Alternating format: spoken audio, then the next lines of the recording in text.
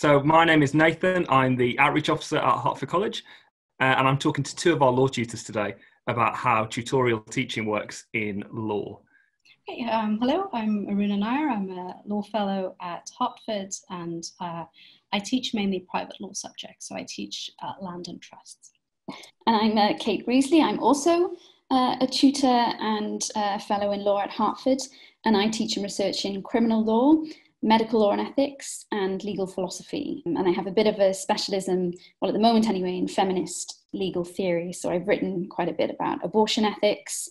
Um, and I'm working right now on feminist criticisms of free speech protections for pornography um, and the arguments about that. So I think we're going to start with our first question is you know a tutorial is is quite a different teaching experience than people have had in school and it's quite different to lots of other universities as well. So, how would you describe um, what a tutorial is and, and how it goes? Sure. Well, I would describe a tutorial as ideally student led. So, if you think about lectures, which is the standard way that teaching is delivered at most universities, and we also give lectures in Oxford, in a lecture, the students come and they sit there, and essentially the lecturer just beams information at them and they take that information down. In tutorials, ideally, it should actually be the other way around. So the students are the ones who should be doing most of the talking. By the time they come to the tutorial, um, what we expect is that they will have been done, been doing, sorry, a lot of self-learning um, for the past week. So they will have taught themselves all the essential components of the topic we're discussing. They'll have had to think about their own opinions. They've formulated some opinions, and what they then come to do in the tutorial is to tell us what they think about what they've read. Um, so these happen in much smaller groups than lectures. Obviously, lectures can be, you know, up to 200 people. In tutorials, you're talking about two people, three, four at most. And the students sit there and essentially feedback to us what they've been learning and what they think about what they've been learning. And then what we, we really try to do is just prod them a little bit in their thinking, and challenge them a little maybe in terms of their views, get them to think on a slightly deeper level, um, and that sort of thing, and get a good discussion going. But we will, for the most part, be led by what they think and what they have done in preparation. So I guess no tutorial is ever the same as another one then? Absolutely not. No. You've mentioned um, lectures being there to kind of impart information to people. How do tutorials fit into the into the Oxford course? Where do they kind of link in with with lectures? You covering the same topics, or you kind of doing different things? Yeah, so, so they run they run concomitantly.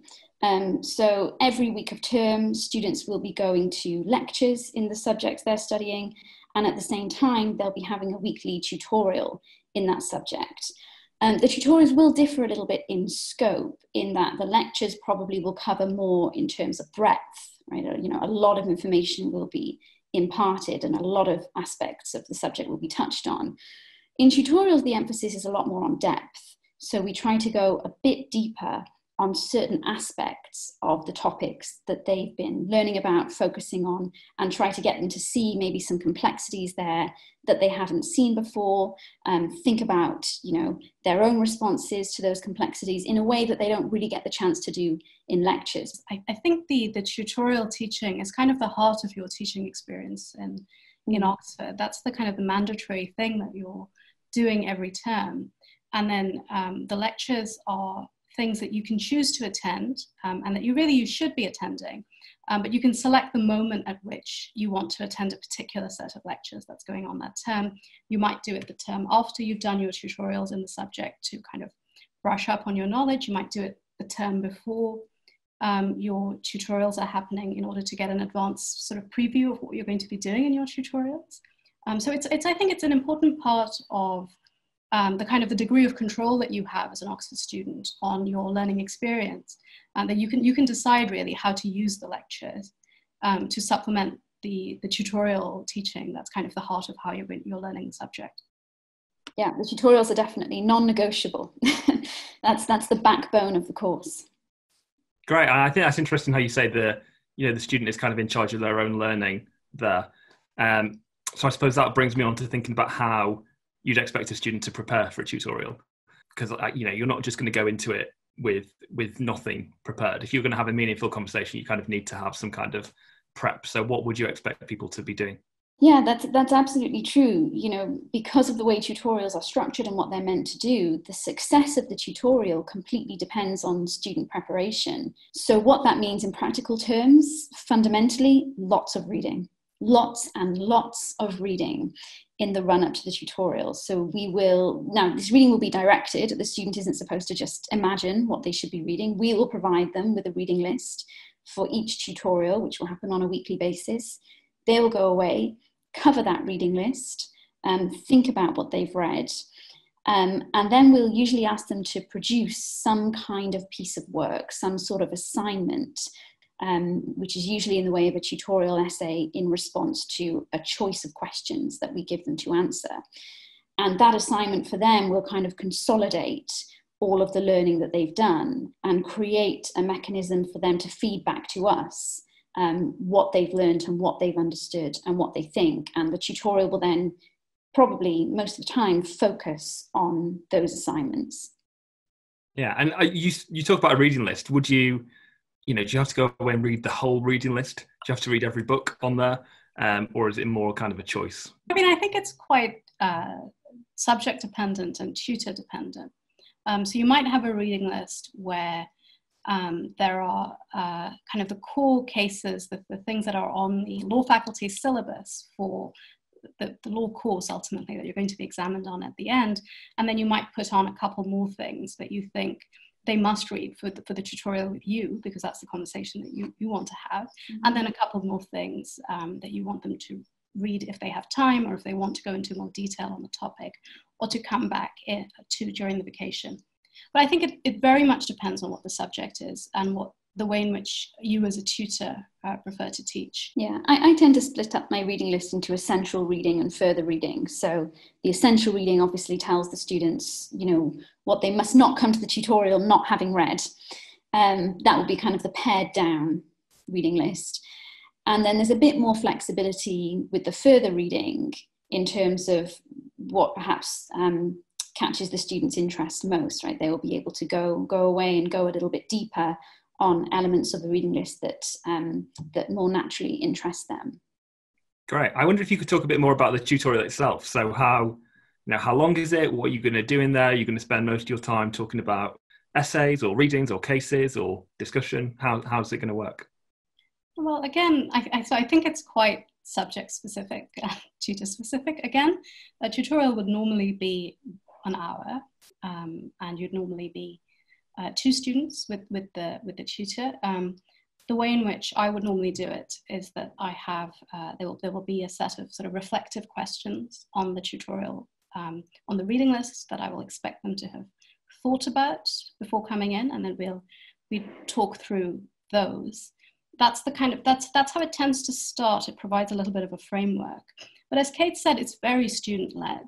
You know, so if I if I get the impression uh, that the students are more interested in one question than in the other, or if they have a particular area of the reading list that didn't quite make sense and they want to really explore that, then you know we'd very happily go in that direction.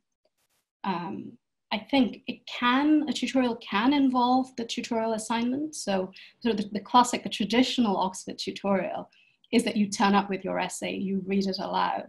Mm-hmm. The tutorial partner comments, the tutor comments, and that's the backbone of the discussion. Um, I do that sometimes, but not always. It's not always the, the most useful thing each week, um, but it, it, can be it can be very good in helping students to hear their own arguments, and also for the tutorial partner to see how another person would, would approach the same the same question. Yeah, I, I, would say similarly, like like Aruna, I think for me it very much depends on the week, it depends on the topic. So sometimes it might be helpful to have students, you know, read through verbatim their essay and to kind of stop at various points and discuss as a group um, what they might have said, if they want to try and defend it, if there are objections, all in a very friendly way.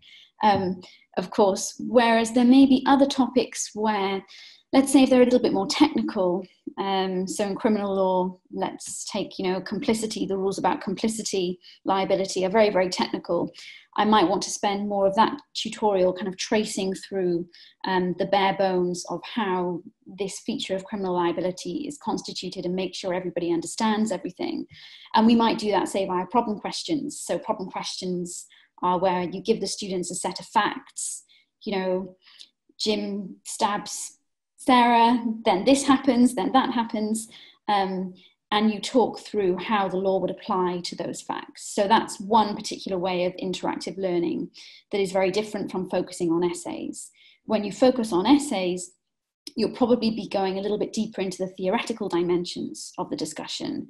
So, to take the criminal law example again, the week where we discuss, say, sexual offences and consent, and what does consent mean, and what is required for genuine consent to have been given, and what is reasonable belief in consent, these are the sorts of questions where I might want to hear more from the students um, about, you know, how do you respond to that case and what the judge made of this in that case? You know, what are your thoughts on this? And try and push them a bit more on, on the theoretical dimensions. I think it, you've made it kind of really clear that a tutorial is an interactive learning experience. It's, it's a discussion. Um, so I guess that means you know it doesn't always have to be right. You don't always have to get the right answers. No, definitely not. It's very much a base from which to kind of jump off and and launch a discussion really. It's it's i think of the essay as kind of it's the entry point. Um, you know there's only so so much expertise you can have about a topic after having only spent you know four or five days learning about it. So of course you know we don't expect anything utterly spectacular. It's just here is now kind of the consummation of what they've been learning for the last few days and let's use that to have a deeper discussion again yeah, I think it would be a mistake to think of the tutorial essay mainly as an assessment, you know, where we're, we're looking at how are you doing? Are you, are you passing the course? You know, that's not the, that's not the issue at this stage. Um, the tutorial essay is part of your learning. The process of writing it is the process of you understanding what you read, and then that's what you bring to the tutorial. In terms of right answers, there are, there are some areas of law where there are right answers, um, but quite often the kind of the heart of the tutorial discussion will be about areas where you know the answers are contested. And so we're not going to be it's not a kind of black and white yes you got it right well done go home kind of argument. It's very much how should we think about this? What are other ways of thinking about this? And ultimately what do you what do you think about it? Yeah. I think that brings brings us nicely onto um, a question i've been thinking of which is what what do you think um, a tutorial adds to the kind of the overall learning experience for a student? What do they get out of a tutorial that that they're not getting out of, of the other kind of forms of teaching, the other independent study? So going back to what we were saying before, that you know, being at university is all about self teaching and self learning. Um, I mean, you as a student will be doing 80% of the learning just on your own, um, or possibly with your course mates. And I think when you learn and you teach yourself with a view to having to, in a few days' time, you know, sit in a room with a small group of people and present back what you've learned and formulate some kind of view on it in answer to a particular question, and then maybe defend that view or revise that view in the face of objections and push it even further, I think you learn in a much more intense way. Um, you know, it's like that adage that people say the best way to learn is to teach. I actually think that's true. Um, and I think that to some extent, that's what students are doing every single week when they prepare for tutorials. They're learning in that way where they are preparing to teach something to some other people. Um, and I think it makes them better learners and I think it makes them smarter. What I would add to that is the, is the kind of um, level of kind of personalized attention that you get because of the tutorial system. So there are sort of teaching contexts where you might get a little bit um, lost um, if you are in a lecture theatre and you don't understand what's going on. Um, you can stop the lecturer and ask them a question. And be encouraged to do that, but quite often, obviously, students don't in a group of 200. Um, whereas in the context of a tutorial, you can't really go through the entire tutorial I was going to say you can't go through the entire tutorial and hide the fact that you haven't understood something, but I don't mean that in a kind of intimidating way. I not mean a bad way, but not a bad way. The, the result of the tutorial is that you will have clarified your understanding as much as it can be clarified, um, because you will have individually talked through exactly what you think, exactly which areas you're not sure about yet, any questions that you have. So it's very intensely personalized. Yeah, I guess you could you could almost you know, it would be easier to kind of drift off somewhere in a lecture, but it's kind of impossible to do that in a tutorial. Right, there's nowhere to hide, and um, and and that sounds scary, but you'd be surprised how quickly you get used to that. actually. After the first couple of tutorials, which of course everybody finds intimidating, everyone realizes, well, actually, this is fairly low stakes, this is fairly friendly. But the fact that you're sort of in a situation of exposure um, means that if there's any troubleshooting that has to be done, it gets done. Um, hopefully, you build a rapport with your tutors that means you're able to, t- to tell them, look, I didn't get this. Um, I found this really difficult. Can we talk through that in particular? And that is a personalized learning experience, you know, the, the likes of which it's difficult to get um, in some other places. Yeah, that's really helpful. Thank you. Um, I suppose just to finish, do either of you have um, kind of a favorite thing or something that you think is the best the best feature of a of a tutorial or something that you would say to someone who was considering applying to Oxford, considering doing law, um, and maybe isn't sure about about that kind of teaching um, or about how it works? Is there anything that you would say? For lawyers in particular, um, the tutorial system, because it forces you quite early to make arguments, to think on your feet, uh, to react to other people's opinions, it's kind of an essential part of learning for lawyers. You know, um, part of what it means to be a lawyer is to be able to kind of assimilate a set of uh, claims and then contest them. Think about how they apply in kind of practical situations. And um, I, th- I, think that's what I would say if you're if you're worried about the tutorial system and you want to study law. Um, you know, sooner or later in your career as a lawyer, you're going to be in a room making an argument uh, about how the law should apply, whether the laws um, should be reformed, that kind of thing. Uh, and I think getting to do that for three years at Oxford uh, in a room with people who, who, have spent their careers doing that is, is really useful training for, for, a career as a lawyer in particular. Yeah, I, I totally agree. It's, I mean, in that in that sense, it's a bit like immersion therapy. Um, you know, if you have problems with confidence, you have problems arguing, you know, um, thinking on your feet, um, you know, being at the forefront of something, well that that's going to be solved in about three weeks because it will just become the new normal and it will feel regular to you. And you will get the opportunity to practice you know reacting in that kind of pressured environment where everything is kind of happening in the moment. Yet in a kind of a safe space um, to use that phrase where you know nothing much hangs on it um, it's all really kind of for fun and to just um, enhance your your understanding but I think what as a student you'll realize is that after a certain number of these interactions, you will just be more confident, more erudite, more thoughtful, right? Better able to, to suddenly see problems and puzzles and objections um, than you would be before. So I think that goes really strongly in favor of, of willingly putting yourself in that situation every week. Fantastic. Thank you both very much. Um, I hope if you if you're um, if you're watching this, you you find it interesting and give you a bit of a food for food for thought um, about studying law at Oxford. If you want to find out more, you can obviously go to the university website and you can also go to www.hertford.ox.ac.uk forward slash law.